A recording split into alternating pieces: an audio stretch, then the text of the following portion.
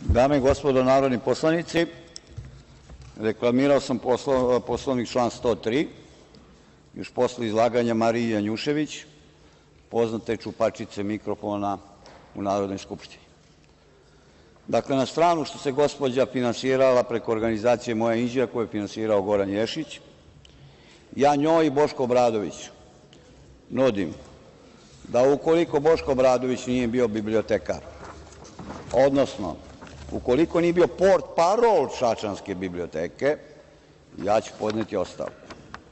Ukoliko njihova organizacija nije iz Kolubare u vreme dok su se radnici zakivali ekserima za svoja radna mesta, dok su sekli prste, ukoliko tada nisu dobili 50.000 evra, odnosno 4,2 miliona po tadašnjem kursu dinara od Kolubare, ja ću dati ostavku. Ukoliko sredstva koja su dobili iz državnog budžeta, a koja kad se ne utroše vraćaju se u budžet, jel tako guvernerko, gospodine Martinoviću, vi svakako to znate, umesto da se vrate u budžet, ona su fiktivno podeljena preduzetničkim radnjama koje se vode na kandidate ili odbornike njihove političke organizacije.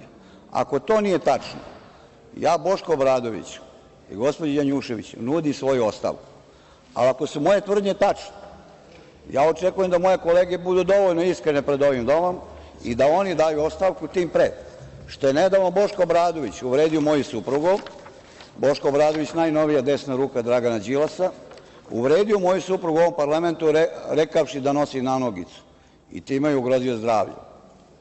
Evo potvrde da to nije tačno. Ja ne očekujem da se on izvini. On je poznati nasilnik nad ženama, verbalni i fizički. Kad je njihova žena u pitanju, recimo Jeremićeva, onda ide plač, konferencija za štampu. Naše žene očigledno nisu žene.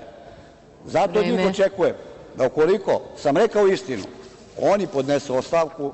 Ako oni Vreme, ne, hvala. ako sam govorio neistinu, naveo sam podatke, ja ću podneti ostavku. Hvala.